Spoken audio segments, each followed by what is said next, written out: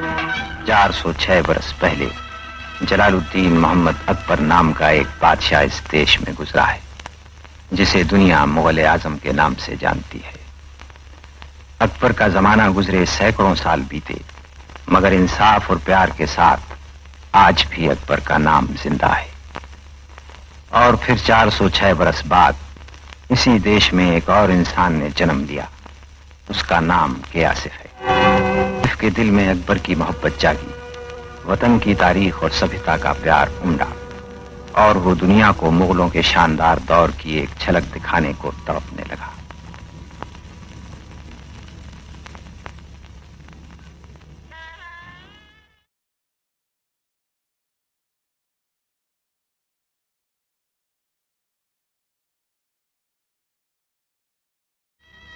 ये तड़प, ये आरज़ू आसिफ की ज़िंदगी की धड़कन बन गई और वो मुगल आज़म का ख्वाब देखने लगा।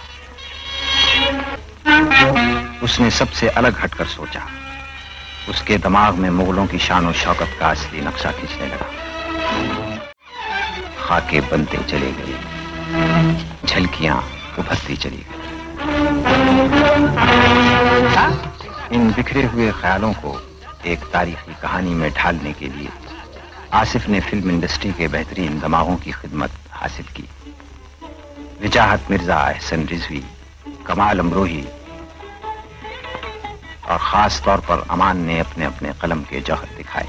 और फिर कल्पना और आर्ट के और माहिर अजीम शायर शकील बदायूनी, इसके बादशाह नौशाद, लाजवाब फोटोग्राफर आर डी माथुर, बेहतरीन साउंड रिकॉर्डिस्ट अकरम शेख। नामी editor Dharamvir. Associate director S T Zaidi. Art director M K Syed Mughal आज़म में शरीक हो गए। दमागों ने खाका खींचा, हाथों ने गुल बूटे खिलाए और मुगल आज़म के सेट्स की धूम हिंदुस्तान भर में मच गई। और उन्हें देखने के लिए देश के कोने कोने से लोग आने लगे।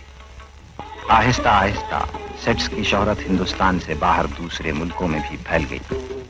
अफ़गानिस्तान और सऊदी अरब के शाही मेहमान, नेपाल के वज़ीर आज़म इटली के मशहूर डायरेक्टर रोजालिनी, इंग्लैंड के मशहूर हिदायतकार डेविड लीन और चीन का कल्चरल डेलीगेशन मुगल आज़म के सेट्स देखने के लिए आए और हिंदुस्तान के लाजवाब कारीगरों की तारीफ़ किए बगैर न रह सके।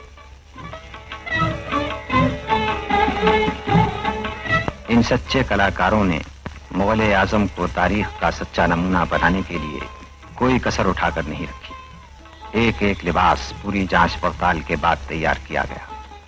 अपनी खूबसूरती और बनावट में मुख्तलिफ़ आरइशी सामान, हज़ारों जंगी लिबास, ढालें, तलवारें, जेवर और मुजस्मे अकबरी जमाने के सामान से किसी तरह कम लागत और मेहनत में तैयार नहीं हुए।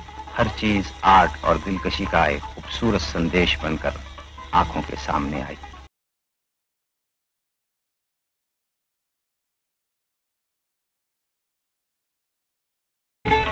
और लाखों इंसानों ने मुगल आज़म के सामान की उस नुमाइश को देखा, जो बंबई की जहांगीर आर्ट गैलरी में सजाई गई थी।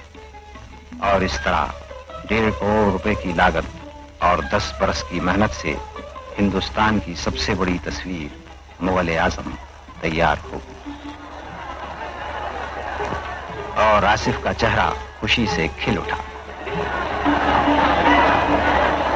आज हिंदुस्तान के लाखों इंसान इनकी मेहनत की दाद देने के लिए बेताब हो गए।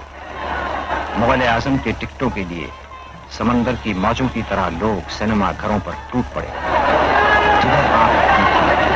लाखों इंसान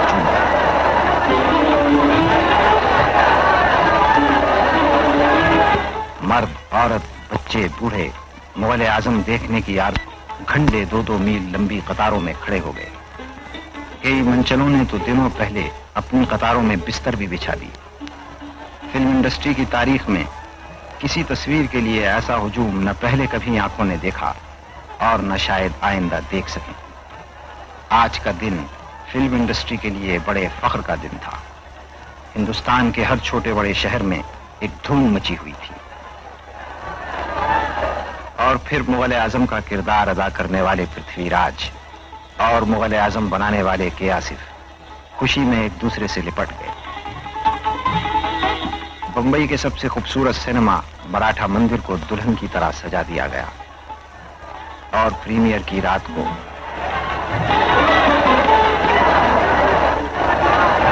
आसिफ खुद मेहमानों के स्वागत के लिए खड़े हो गए। मोजिस मेहमान आने लगे। सरकाउस जी जहांगीर, ये पहली बार हिंदुस्तानी फ़िल्म देखने आए थे। शकील, अमान, कारदार, नौशाद और शफी, आज कितने खुश हैं। राजकुमार, सबकी तरह आज फ़िल्म स्टार्स भी मुगल आज़म देखने को बेताब हैं। हसमुख ओम प्रकाश।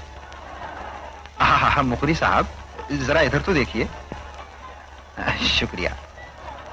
राज कपूर अपनी धर्म पत्नी के साथ, ये आज ही मुगल आज़म की प्रीमियर में शामिल होने बर्लिन से आए हैं। शम्मी कपूर और गीता बाली। जी, आप पिक्चर देखने को बहुत बेचैन मालूम होते हैं। ओहो, इनके पीछे तो नादरा है। आहा, रफी साहब, देखिए तो नौशाद साहब और शकील साहब इन्हें खुश आमदेद कह रहे हैं। ये हैं नसीम, अपनी बेटी साहिरा के साथ, खूबसूरत हीरो राजेंद्र कुमार, अपनी धर्म पत्नी के साथ। इनका कहना है कि मुगलिया दौर की ऐसी फ़िल्म आज तक नहीं बनी। देखिए, इन्हें पहचानने में गलती न कीजिएगा। ये सुरैया हैं, अपनी मम्मी के साथ। अरे, दुर्जन सिंह सूट पहनकर कहा आ गया? हाँ ये अजीत हैं। इन्होंने पिक्चर में दुर्जन सिंह का रोल अदा किया है। आहा, ये आर्टिस्टों का खानदान है। नूतन तनुजा और उनकी माता शोभना समर्थ। जरा मुस्कुराइए तो सही। शुक्रिया। और ये वहीदा रहमान है। जरा मुस्कुराइए। ये मुस्कुराएँगी नहीं। इन्हें फ़िल्म देखने की जल्दी है। इनके पीछे हैं प्रोड्यूसर डायरेक्टर गुरुदत्त। जरा मुस्कुराइए। ये हैं सबसे छोटे अदाकार, डेजी और हनी ईरानी। साहब, ये क्यों किसी से पीछे रहे? मकबूल हीरो देव आनंद और उनकी धर्म पत्नी कल्पना कार्तिक। प्रोड्यूसर डायरेक्टर बिमल राय और उनकी धर्म पत्नी म्यूज़िक डायरेक्टर जय किशन। ये है श्यामा। जरा मुस्कुराइए तो सही, साहब। वाह वाह, क्या बात है। ये है नगमों की रानी, लता मंगेशकर। ये जयश्री हैं। ये हैं माला सिन्हा। इनके साथ कौन है? ओहो, इनके पिताजी। मगन भाई, ओवरसीज के डिस्ट्रीब्यूटर केपी के साथ। मीना कुमारी और उनके शौहर कमाल अमरूद जाए मुकद्दी बहुत जल्दी में। ये निगार सुल्ताना है। आहा, इनको भी जरा देखिए। ये है आगा अपने पूरे परिवार के साथ। कुमारी नंदा, हज़ारों सितारों का झुरमुट है। कोई कहीं है, कोई कहीं। ओहो, वो वो जयराज हैं। यह है निम्मी भीड़ भाव से बहुत घबराती हैं और इनके पीछे एक विलन है, मिस्टर प्राण इनके अलावा वो लोग भी आए, जिनके कांधों पर आज के हिंदुस्तान का बोझ है। महाराष्ट्र के चीफ मिनिस्टर श्री चौहान।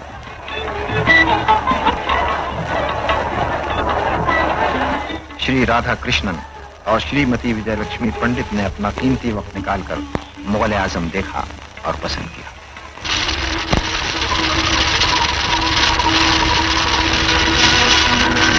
कला और आर्ट की चाहत ने खजानों का मुँह खोल दिया और आसिफ का देखा हुआ ख्वाब हिंदुस्तान के हर सिनेमा के पर्दे पर नज़र आया।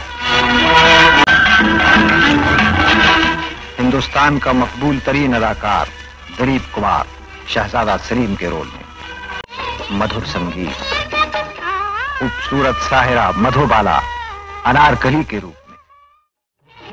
शायरी और नगमों में डूबे हुए ऐसे हसीन मंजर जिन्हें पहले कभी आपकी आँखों ने नहीं देखा होगा। तीर अंदाजी मुगल शहजादों का मशहूर फन था। मगर यह किसी को मालूम नहीं था कि आज शहजादा सलीम की कमान से छूटा हुआ यह तीर मुगल सल्तनत की बुनियाद हिला देगा। बेजान मूरत ने आँखें खोल दी। मोहब्बत और कुर्बानी की ये दास्तान मशहूर शीश महल में अपने उरूज पर नज़र आती है। तस्वीर में शीश महल रंगीन है और हज़ारों रंग बिरंगे शीशों की रोशनी से ये महल देखने वालों को एक खाब की तरह नज़र आता है। मोहब्बत जुल्म के बोझ से दब तो जाती है, लेकिन मरती नहीं। एक बाप और एक शहनशाह के दरमियान जंग, बाप को बेटा प्यारा था। लेकिन शहनशाह को अपना फ़र्ज़।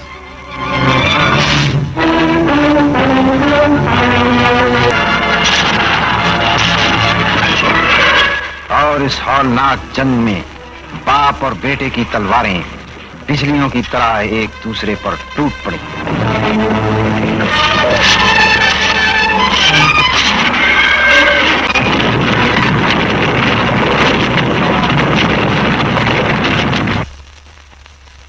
इस तरह फ़र्ज़ और मोहब्बत की गैर फानी दास्तान मुगल आज़म बनाकर के आसिफ और उनके साथियों ने दुनिया में हिंदुस्तान की फ़िल्म इंडस्ट्री का नाम रोशन कर दिया।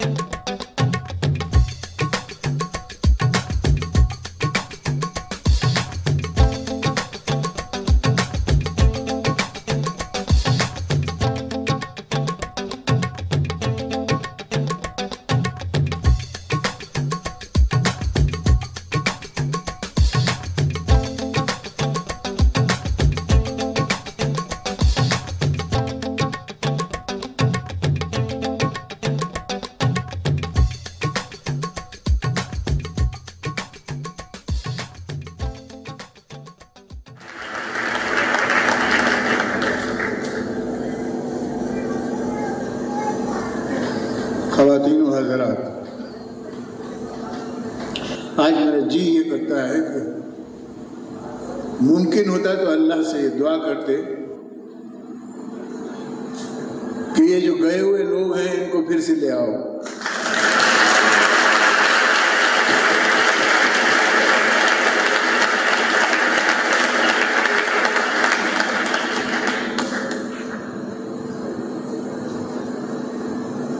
मुगल आज़म को फिर से ज़िंदा कर दो अल्लाह।